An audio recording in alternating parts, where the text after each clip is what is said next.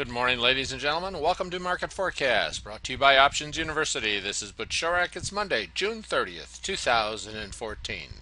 Access to this video is for educational and informational purposes only. Nothing contained into this uh, video, website, or promotional material constitutes a promotion, recommendation, solicitation, or offer of any particular investment, security, or transaction.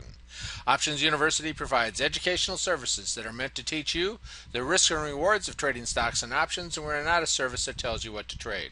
We're not implying or guaranteeing a profit, and as always, do not trade with money that you cannot afford to lose.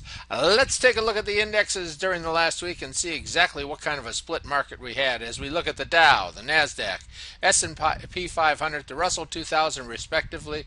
We see some negative numbers, we see some positive numbers. With that, the Dow down six tenths of a percent for the week. Nasdaq up seven tenths of a percent for the week with our split market. S&P 500 down one tenth of a percent. Russell 2000 down. Uh, uh, I'm sorry, up one tenth of a percent. Make note that uh, the S&P was up two tenths of a percent in the last hour of trading Friday afternoon, as we almost got back to that uh, flat line for the week. So let's take a look at our year-to-dates as we see that what's happened since April is that the Dow up 1.7 percent.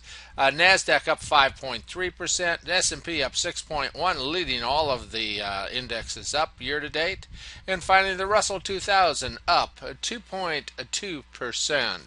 So as we've seen since April, the uh, Dow has advanced in six of the past eight weeks, but the total gain for the Dow, for example, has only been up 3.6% during that time. So well, as we look at what's happened, we've had our uh, summer run. We've gone through the month of June. The month of July is coming, and it'll be interesting to see what happens during the summer doldrums. Let's take a look and see exactly what uh, uh, um, uh, economic announcements we have coming for the next week. As we see on Monday, this uh, Chicago PMI coming out at 9:45, and pending home sales kicking out at about 10 o'clock on Monday. As we have this uh, week that is a short trading week. Uh, we see the PMI coming out at 9:45 on Tuesday, and we have ISM coming out on 10. So we and uh, construction spending coming out at 10 o'clock on Tuesday. So we've got a few announcements coming out this week, none of which will overcome what the Fed has done as the Fed keeps fueling this uh, market rally during the summer here. On Wednesday, we got ADP unemployment and factory orders coming out at 10 o'clock. On Thursday, every single Thursday, we have the employment numbers coming out at 8:30, international trade coming out at 8:30, jobless claims coming out at 8:30, and then finally, when we look at uh, ISM, we see that uh, ISM is coming out at 10 a.m.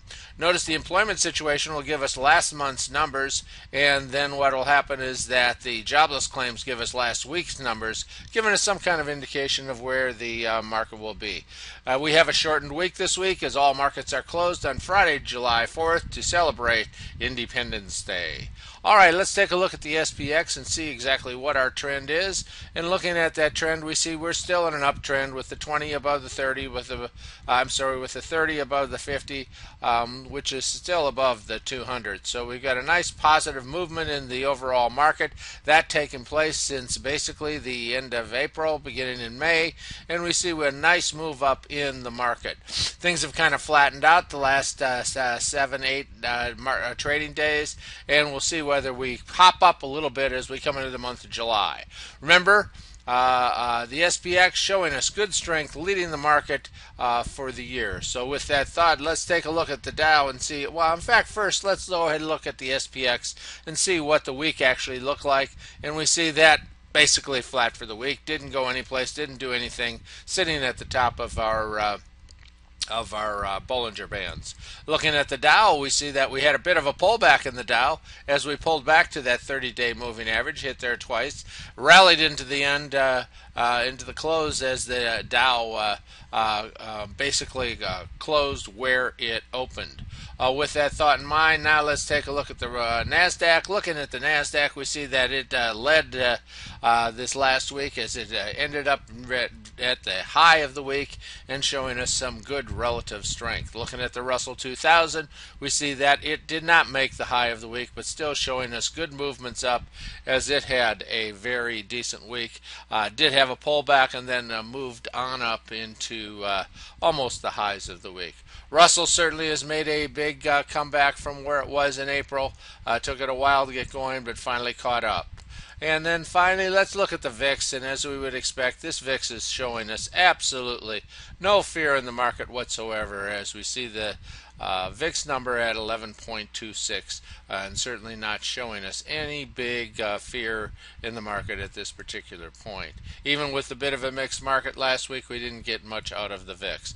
Bond market has kicked up and we've gone into some new highs in spite of the fact that the mortgage uh, levels are at the lowest that we've seen and uh, probably during our whole, lifetime. And we see the uh, bonds picking up a bit. looking at gold, is there any big flight to safety? Well, we see a little bit move up in gold, but nothing much as far as showing us where things are uh, showing any big fear in the overall market. Still back 25 to 30 percent from our all-time highs. Uh, looking at SPY, what kind of volume did we have this week? Average volume coming out of the uh, uh spider, so it didn't show us any great volume as the market went sideways, showing us this uh, complacency as we go into the month of July. We could uh, certainly get a little bit of a rally as uh, we get into the beginning of July, but remember, uh, we've got uh, uh, one of the worst quarters coming up July, August, and September. they traditionally and historically have shown us a, a bit of weakness as we look at the market trends for our history. And finally, let's take a look at the financials, which were up slightly for the week. And we see that the financials uh, ended up uh, showing us uh, that it's still very near its highs. And uh, we'll see what our stocks did, uh, our financial stocks did, as we see the uh, financials showing us stability at this particular point in the market. So, with that thought, uh, taking a look at oil, we see oil as we come into the summer cycle uh, certainly uh, popped on up and is uh, trading near the highs of the past three months. So, uh, for those of you that are gold members, stick around. Uh, we'll go through our stocks to watch as we've had a basically flat week in the market with a bit of a mixed market. And for those of you that like to see more free videos, go to uh, www.optionsuniversity.com forward slash free gold. And with that thought, thank you for attending Market Forecast, brought to you by Options University. This is Butch Shorrock. It's Monday, June 23rd, uh, June 30th, uh, 2014. Thank you all for being here.